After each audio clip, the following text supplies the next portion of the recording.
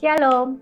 Kemarin kita diajarkan untuk menjadi pengikut Kristus yang sejati, walaupun Tuhan tidak melakukan seperti yang kita harapkan.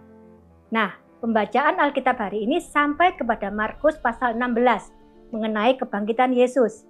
Dan Alkitab mencatat dalam Markus 16 ayat 11 kalau tetapi ketika mereka, murid-murid maksudnya mendengar bahwa Yesus hidup dan telah dilihat olehnya, mereka tidak percaya. Dan kenapa mereka tidak percaya?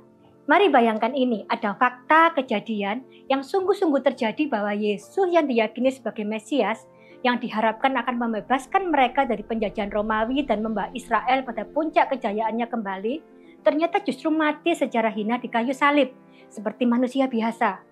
Murid-murid menjadi sangat kecewa.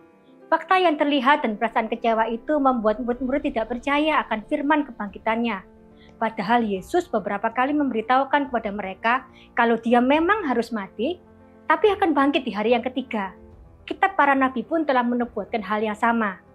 Bapak Ibu jemaat Tuhan, bukankah kita juga sering seperti itu? Melihat kenyataan hidup yang sulit ditambah perasaan kecewa, sering membuat kita merasa Tuhan tidak peduli kepada kita seperti apa yang difirmankannya.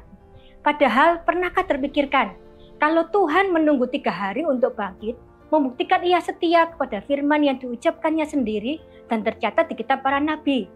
Kalau murid-murid juga dibiarkan menunggu selama tiga hari dalam keputusasaan dan duka cita, pasti karena Tuhan tahu ada sukacita tak terkira untuk mereka yang percaya dan berharap kepadanya di hari kebangkitannya. Mungkin apa yang terjadi hari ini membuat kita meragukan firman-Nya. Tetapi kuatkan hati untuk terus mempercayai Tuhan yang setia dan menghidupi setiap firman-Nya Orang-orang yang menabur dengan mencucurkan air mata pasti akan menuai dengan bersorak-sorai. Amin.